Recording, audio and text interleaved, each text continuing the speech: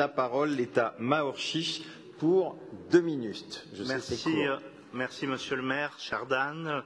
Beaucoup aujourd'hui ont salué la chance euh, d'avoir une ville qui se tourne enfin vers l'eau.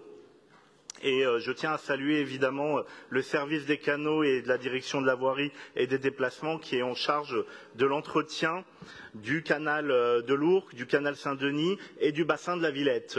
Des spots importants en particulier dans cette période estivale où on sait qu'on a une surfréquentation grâce notamment à Paris-Plage. Il se trouve qu'au quotidien, euh, ce travail remarquable euh, donne lieu à l'évacuation de près de 180 tonnes de déchets flottants chaque année, comme des algues euh, obstructives. Et ce, malgré les efforts intenses des équipes.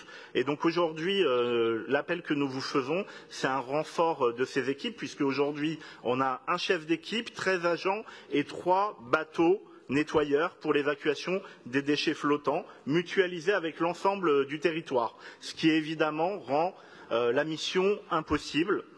Et aujourd'hui, pour nous, c'est évidemment important que euh, ce- cet engagement pour le climat soit aussi un engagement pour les usagers et pour euh, les riverains et pour les canaux sur le fait qu'on ait la propreté qui accompagne euh, ce nettoyage. Donc euh, nous vous demandons une, euh, un renforcement de la dotation budgétaire du service des canaux, que, euh, effort d'investissement soit réalisé, en particulier la mise à niveau du parc des bateaux euh, nettoyeurs, et enfin une euh, politique de sensibilisation qu'elle soit amplifiée auprès des nombreux usagers et riverains du site, puisque c'est évidemment un grand succès lors de cette période estivale. Je vous remercie.